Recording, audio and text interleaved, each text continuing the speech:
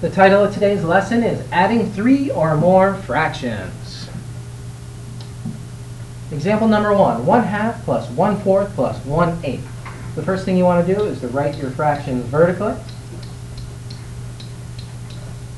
And then the next thing we're going to want to do is come up with a common denominator for all three fractions. In this case, the common denominator is 8. 2 goes in 8 four times. 4 times 1 is 4.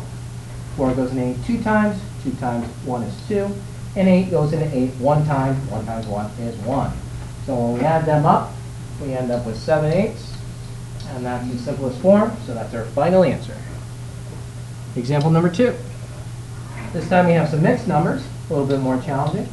1 and 1 half, plus 2 and 1 third, plus 3 and 1 sixth. Again, write your numbers vertically. Bring over your whole numbers first. Now we'll find a common denominator. In this case, it's 6. 2 goes into 6 three times. 3 times 1 is 3. 3 goes into 6 two times. 2 times 1 is 2. And 6 goes into 6 one time. 1 times 1 is 6. We add them up. We end up with 6, 6, and 6 here for our whole number. So 6 and 6, 6 is equal to 7. Example number 3. 1 half plus 3 fourths plus 1 eighth. Again, we come up with a common denominator. In this case, it happens to be 8. 2 goes in 8 four times. 4 times 1 is 4. 4 goes into 8 two times. 2 times 3 is 6. And 8 goes into 8 one time. 1 times 1 is 1. So we add them up this time, we have 4 plus 6 plus 1, which is 11 eighths. You can see it's improper. So we'll have to convert it to a mixed number. 8 goes in 11 one time. With 3 left over. So we have 1 and 3 eighths. Next, example 4. Saving myself a little time here, I've already written the numbers vertically. So again, we're going to start off by finding a common denominator. In this case, we have 6. This is 3 6, 2 6, and 1 6.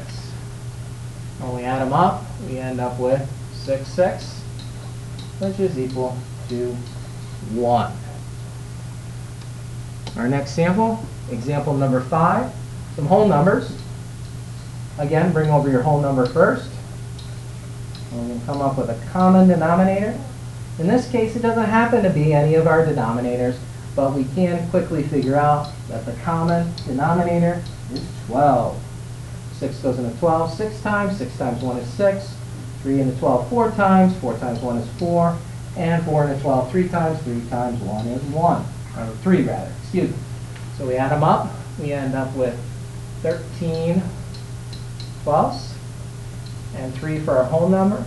We can see that the second part of the number, the fraction part, is improper. 12 goes into 13 one time. So our 3 becomes a 4. We're left over with 1. And we have 4 and 1 12.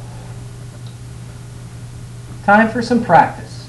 Pause the video, take a few moments to solve letters A, B, and C on your own, and come back and see how you did. All right, let's look at letter A and see how you did. 1 half plus 2 thirds plus 5 sixths.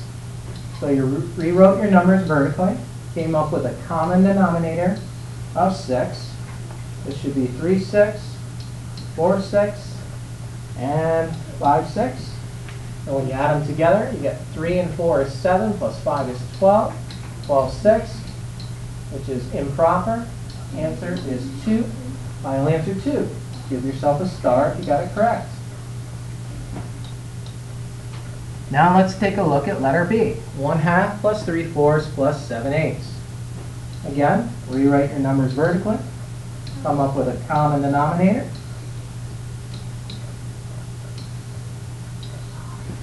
Add them all up. 17 eighths. 8 goes in 17 two times with 1 left over. So we have 2 and 1 eighth.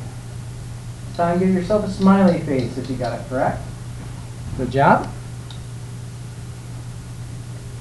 Finally, we have letter C, 1 and 1 4, 1 and 1 8, plus 1 and 1 half. Start by writing your numbers vertically. Bring over your whole numbers. Find your common denominator.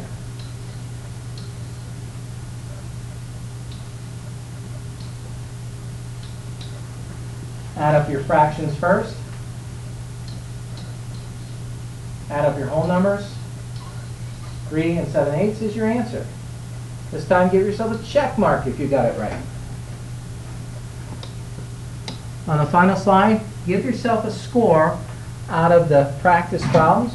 If you got yourself all three, give yourself a 3 thirds, and a big smiley face, with some hair, 2 thirds, with a smiley face, and some chin hair, and one third if you only got one third of them correct. A smiley face with big ears. And if you have zero out of three, you better come see me. Thank you and have a great day.